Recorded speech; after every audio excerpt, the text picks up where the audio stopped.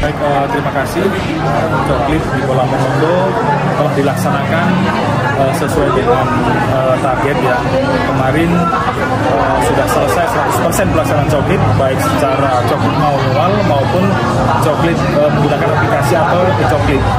Pak uh, turun uh, mencoklit ke masyarakat uh, ke rumah-rumah ya uh, sampai masa tugas mereka selesai dari tanggal 20 masa tugas dari tanggal 24 Juni sampai tanggal 24 Juli.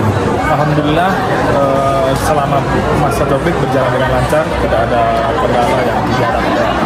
Ya, kalau yang ada juga uniknya ketika misalnya ada dalam uh, apa di dalam satu rumah yang sudah bisa uh, apa namanya uh, keluarga tetapi dalam daftar pemilih yang dari DP4 masih dalam kakak yang sama sehingga ketika dalam penempelan uh, apa tanda coklit mereka tidak mau uh, apa namanya menempel di rumah karena masih ada mantan suaminya di situ.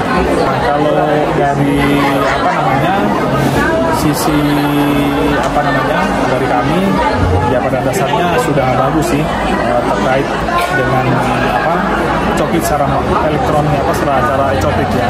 Tetapi terkait ke depan aplikasinya lebih ditingkatkan lagi supaya uh, apa namanya kami ada 721 Pak, ada 419 TPS.